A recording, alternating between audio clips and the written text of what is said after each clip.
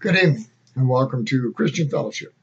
My name is Mike and today is 4 17 2020 and it's about 4:37 p.m. in the afternoon, Fall River, Massachusetts. And I hope everybody again is doing well today. I have had a pretty good day so far. Um, I mean, being retired, although I'm a pretty active person, being retired and with this stay in your dwelling place thing that the government has put us in, um, which we've, you know, well, in my situation, it's it's uh, I have to. By my not doing it, it's going to cause a whole bunch of family people to be very upset, and I just no big thing, you know. They need to change, and I can't make them change. Okay, so today I got to spend a little time with Max from Crow House in his dwelling place. He's over in Australia had a very nice show he put on from uh, from his. Uh, usually, you see him in the parks. He does a walk and talk, but today he was he did like a, a home and talk. I guess you'd call it. I don't know, Max. What do you think? Max is about probably my age, or maybe uh, how older than he is. I don't know. And then um, I watched the Dollar Vigilante. He had actually some very positive things to say you know, things haven't changed all that much, but things, there are some hopeful signs on the future. And um, high impact blogs, uh, Brian, he he uh, he had a couple of positive things to say too. And um, but we're still seeing, you know, they're gonna now they're talking about opening the government, but now they're gonna do it in three phases. And there's also huge problems with the uh, stimulus check thing and the uh, small loans. Of course, the banks and all the big businesses, they already got their money, so there's no problems for them. Um, just the peons. Um, that, you know, as long as they get theirs, that who cares about anybody else. But anyway, um, I hope you woke up this morning and uh, said good morning to Jesus and asked the Spirit to guide your day today. Everybody should do that every day. And uh, it's, uh, you may not feel anything change, but things, once you ask the Lord and the Spirit and His Father to step into your life and help you, they do that. You may not feel any spiritual revelation or anything, but they do it. And um, because in our flesh world body, we look for, you know, stimuluses, flesh stimuluses that don't always come from the spirit world. Sometimes they do. I've experienced one. And uh, actually, there was another girl, I forget her name. She's, the last name I think is Fontaine. She's from Louisiana. She puts up uh, quite a bit of stuff, and uh, I can't find her name here. Um, but anyway, that's there's no big thing on that. Um, she put up a, a, video. It was about people, I guess, down in Louisiana somewhere. It was some people out of a nursing home. One of them was, and uh, a couple of other people who uh, actually got direct revelation from the Spirit of the Lord and they got, you know, the Lord stepped in and, and took care of their uh, flu symptoms, which they call this COVID 19 thing. Um, and one lady is very old. I mean, it, affects the older people more. Um, the guy, he would have been probably, I don't know, maybe in his 50s, 60s. Um, and they definitely experience the presence of the Lord. And if you, I have, and when that happens, you, you become a great witness for him because he is real and he is here with us. Right now, he's with me. And Lord, I forgot, Lord, would you come and be with me, sit with me, and interpret for me, and to whoever is watching these. If you've got some people you wanted to watch, I'm sure they're watching. Um, but uh, so I watched uh, I watched her some of her videos, and uh, then I watched I watched a, a guy. Uh, very, I'm, I'm getting kind of interested in uh, uh, some Bible schools in the wilderness, and there's there's quite a bit of stuff out there.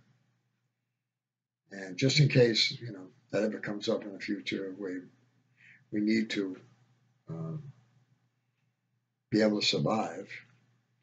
I'll have some ideas from watching these videos, and um, pretty pretty interesting stuff, really. Um, and then I crochet. I've, I've, told you I'm still I'm making a new scarf. Let's see, I'm sure get done now. Eh, not not bad. Getting along with it, and um, I know how you're keeping yourself busy, um, but I hope you are. But just to sit there and worry about things, is, it's really not going to do too much of anything except depression. You have to, uh, you know, whether it be get into cleaning up some of the mess that's in your house that you've been wanting to get to. Now you have some time. Um, you know, you could do stuff on the computer. You could do some research. Um, you know, I guess you you know you can watch movies and stuff. I brought a suggestion of how can correct all this. Is that get rid of the TVs, get rid of the cell phones, and computers. Take them off the internet because really these these cell phones and computers and, and uh, TV technology, basically all of it. The enemy, and this has always been a battle between good and evil, right from the beginning of time. Um, the enemy, although you know there's great uses for cell phones, but there's also evil uses, and evil has turned, they're using this as a weapon. And it's funny because we're, that it's almost like they're handing you a weapon and saying, we want you to kill yourself with this. And people, they're using, they're, they're using the weapon that the enemy gave them to harm themselves. But if everybody, and you wouldn't get everybody because there are people that definitely they they listen to mainstream media and they believe everything mainstream media tells which that's you know mainstream media is owned i think they said by six families. All the hollywood all of them all your newscast stations and everything. By six families that's a pretty big monopoly, folks. Yeah, and they own, uh, you know, uh, Disney, Google, Facebook, all that. It's those are all things, big, huge business corporations, monopolies that they think that less people in the world would be a better thing. I don't think they checked that out with Yahweh or God or Jesus or Spirit. I don't think they asked. They're just acting on their, their own wishes. So, anyway, they were talking about, you know, President Trump is going to open up the government. Now it's going to be in three phases. just open up the government. And if you watch some of these videos, some of these, people there's a lot of unrest in a lot of the states now. Michigan, Texas, California, um, South Carolina, Florida. There's people that are just saying, you know what, we've had him. You know, and a lot of them are waking up. They're they're uh, they're listening to these shows by the Dollar Vigilante and High Impact Flix and um, X22 does a little bit more positive. He's he's into Q, and a lot of the other you know Crow House and Vigilante and I they're not buying the Q thing anymore. Um, they believe that Trump is President Trump is part of this. So there's different factions. You know, you got to watch. Although I did hear uh, the police in South Carolina, they were at a church because the church was going to have a service, and the pastor came out in the parking lot. They had 20 police cars. Jeez. And the police came over and talked to the pastor and said, you know, hey, people can come in. We'll give them one warning, and then we're going to take them and arrest them. And the pastor said something about, you know, hey, we have we have freedom under the Constitution. And he says, and the, and the officer said, no, you have no more rights. Your rights have been taken away. You don't have a Constitution anymore. Actually came out of his mouth. Now, if we have governors that are telling that to their law enforcement, we got a big problem in this country. Because then that March 13th date when Trump signed over the, the uh, declaration of uh, emergency and gave control over the FEMA, and FEMA is not elected by the people. FEMA then controls, from that day for six months, controls the country. Yeah. So the so the governors would answer to FEMA, not to the president. People don't realize that. It's not a good thing.